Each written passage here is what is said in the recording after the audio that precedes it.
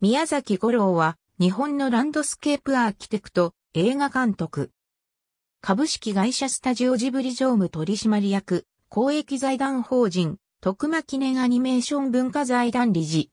宮崎五郎とも表記する。新州大学農学部森林工学科卒業。株式会社、ムゼオダルテジブリ代表取締役、三鷹市立アニメーション美術館館長、株式会社、マンマユートダウン社長、株式会社2割記社長などを歴任した。1967年、宮崎駿の長男として東京都にて生まれた。自宅を引っ越したため、1970年からは埼玉県所沢市にて育つ。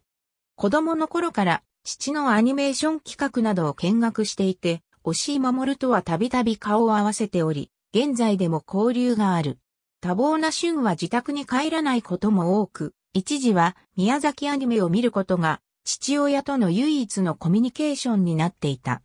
幼少時から絵を描くことが好きで、春や押井守の映像作品のほか、藤子不二雄の漫画などを好んでいた。埼玉県立所沢高等学校、新州大学農学部森林工学科を卒業。高校では山学部、大学では児童文化研究会に所属した。森林工学科を選んだのは自然環境やその保護、保全についての勉強をしたかったから。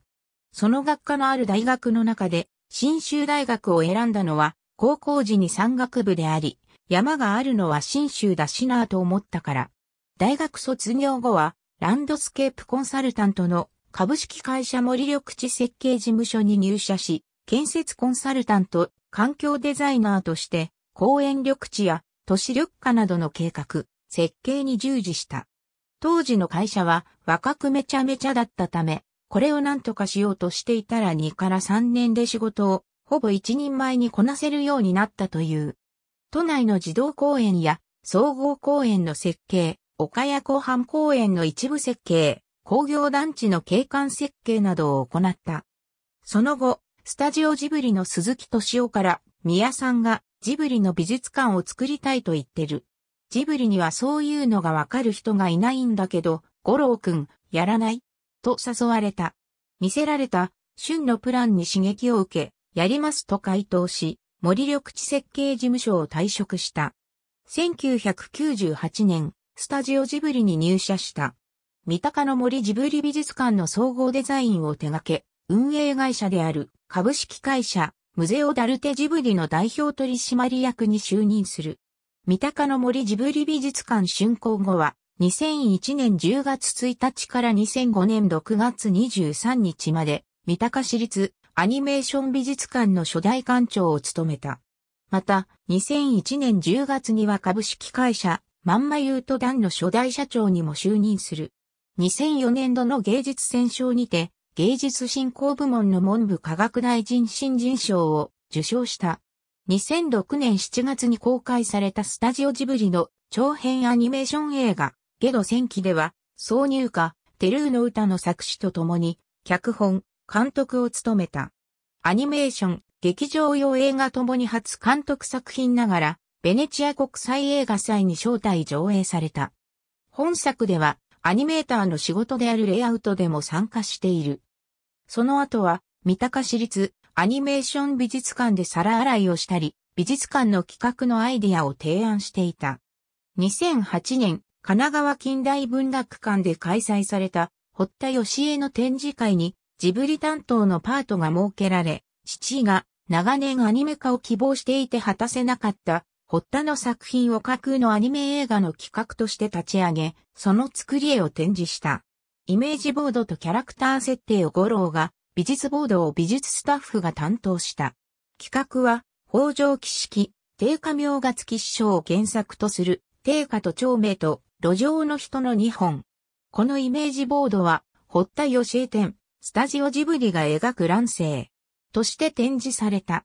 2010年には、堀田の故郷高岡市でも開催され、2012年には、定価と長命の企画が下鴨神社の北条記800年記念の一環として展示された。2011年7月、自身の監督2作目となる国立小坂からが公開され、第35回日本アカデミー賞最優秀アニメーション作品賞を受賞した。2014年、初のテレビアニメ監督作品として、山賊の娘、ローニャが放送された。制作はポリゴン、ピクチュアズ。スタジオジブリは協力という形となる。2016年、同作は国際エミー賞アニメーション部門で最優秀作品賞を受賞した。2017年より制作部門が復活したスタジオジブリにて CG 長編アニメを制作、アーヤと魔女を2020年12月に放送した。三鷹市立アニメーション美術館、スタジオジブリに移ってからは、三鷹の森ジブリ美術館の設立に携わり、3年がかりで開館にこぎつけた。宮崎駿や実際に設計を担当する関係者らを取りまとめ、宮崎駿のイメージに近いものをどうやって実現するかに不信したという。しかし、春の提案に対してコロンが法律上の問題点を指摘すると、春はなんでそんな法律があるんだ。と食ってかかるなど、春との間で議論が絶えなかった。五郎をスタジオジブリに誘った鈴木敏夫は、春と議論を交わす五郎について、宮さんの描くイメージで曖昧な部分があると、断固として受け付けなかったと指摘しており、その姿勢について非常に頼もしく思えたと実感している。その具体例として、鈴木は、宮さんは美術館を作る際も、ありとあらゆることに口を出しましたが、頭の中にあるものは空想の産物の場合もある。それに対して、五郎くんは、ダメなものはダメと、明快だったと説明している。その上で、鈴木は、ジブリ美術館を完成させた上で、運営まで見事にやってのけてくれたと語るなど、五郎の仕事ぶりについて高く評価している。アニメーション演出界の天神父である宮崎駿は、五郎がゲド戦記の監督を務めることに強く反対していた。春は、あいつに監督ができるわけがないだろうと指摘した上で、絵だって描けるはずがないし、もっと言えば、何もわかっていない奴なんだと五郎を厳しく批判した。さらに春は、五郎を監督に推薦した鈴木敏夫に対して、鈴木さんはどうかしていると激高。しかし、ゲド戦記に登場する竜とアレンを描いた五郎の絵を見せられると、春は黙り込んでしまったという。なお、五郎が描いた竜とアレンの絵は、ゲド戦記のポスターとしても使用されている。五郎がアニメーション演出家に転身すると知った氏家誠一郎から後戻りするつもりでやっちゃダメだ。館長はやめろ。と知った激励された。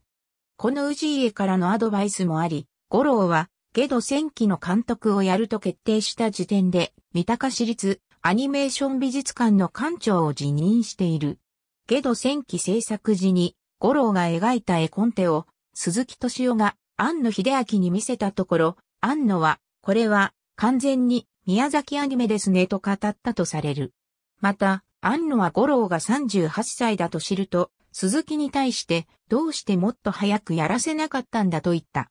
同様に、五郎の絵コンテを見せられた大塚康夫は、当初五郎が絵コンテを切ったとは信じられず、鈴木に対して、ところで、誰が描いたんですか？いや、そうじゃなくて、五郎くんが指示して描いたのは誰ですか？と繰り返し質問した。しかし、五郎本人が描いたと知ると、河津の子は河津だったんだ。びっくりしたなぁと言ったとされる。父はアニメーション作家、映画監督の宮崎駿。母は元アニメーターの宮崎明美。弟は版画家の宮崎圭介。